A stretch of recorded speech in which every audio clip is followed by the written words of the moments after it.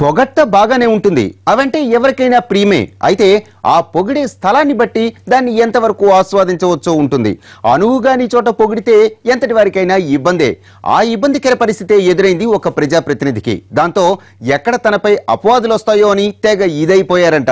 అసలు ఈ పొగట్టల గోల ఏమిటంటారా? లెట్స్ వాచ్ వరుస వలసలు. ఎమ్మెల్యేలు మాజీలు అన్న తేడా లేకుండా పార్టీ మార్చేస్తున్న నేతలు తాజా ఎంపీ ఫిరాయింపు ఈ వలసల వ్యవహారం కాంగ్రెస్లో ప్రకంపనలు సృష్టిస్తోంది. ఎమ్మెల్యేలతో ఎంపీ కూడా పార్టీ మారిపోవడంతో ఢిల్లీ పెద్దలు కూడా ఉలిక్కిపడ్డారు. మరోవైపు అంతర్గత విభేదాలతో విమర్శలు గుప్పించుకుంటూ రోడ్డుకెక్కుతున్న నేతలు పదే పదే పార్టీ పరువును రోడ్డున పడేస్తూ వ్యవహారం షోకాజ్ నోటీసుల వరకు వెళ్ళటం వంటి అంశాలపై సీరియస్ గానే స్పందించింది హైకమాండ్. ఆ క్రమంలో తెలంగాణ కాంగ్రెస్ సమన్వయ కమిటీ సమావేశం ఏర్పాటు చేశారు. దానికి రాష్ట్ర కాంగ్రెస్ వ్యవహారాల ఇన్ఛార్జ్ దిగ్విజయ్ సింగ్ హాజరై పరిస్థితిని సమీక్షించడం మొదలుపెట్టారు.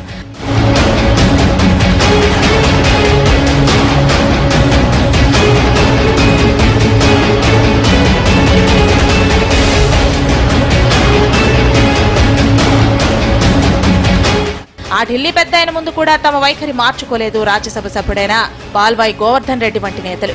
తాజాగా జానారెడ్డిపై బహిరంగ విమర్శలు చేసి అధిష్టానానికి వివరణ ఇచ్చుకుని షోకాజ్ నోటీస్ కూడా అందుకున్న ఆయన కోఆర్డినేషన్ మీటింగ్లో కూడా అదే పందా కొనసాగించారు. సీఎల్పీ లీడర్ జానారెడ్డిపై కోపంతో ఉన్న పాల్వాయి ఆయన్ని టార్గెట్ చేస్తూ డీకే అరుణ్ని తెగ పొగిడేశారు. ఆడదైన డీకే అరుణ ప్రభుత్వానికి వ్యతిరేకంగా ఒంటరి పోరాటం చేస్తున్నారని కేసులు పెడుతున్నా వెనక్కి తగ్గకుండా దూసుకుపోతున్నారని సొంత డబ్బులు ఖర్చు పెట్టుకుంటూ సర్కార్ని ఎదిరిస్తున్నారని అధికార పక్షం ఎన్ని కుయుక్తులు పనినా తన జిల్లాలో ఒక ఎమ్మెల్సీని గెలిపించుకున్నారని అనర్ఘళంగా పొగడ్తల వర్షం కురిపించారు.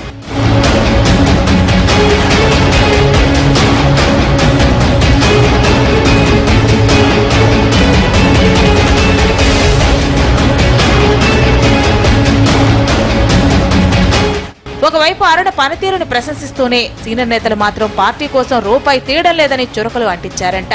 ఆయన పొగడ్తలకు అవునవును అంటూ వంత పాడేశారు మాజీ కేంద్ర మంత్రి సర్వే సత్యనారాయణ.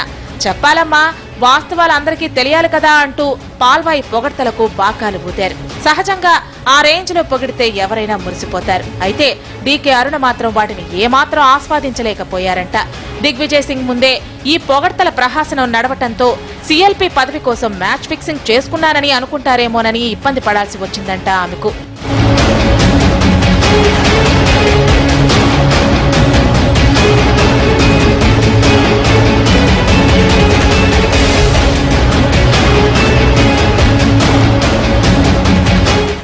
అసలే పాల్వాయి సర్వేలకు అసలే నోటి దూకుడు ఎక్కువ.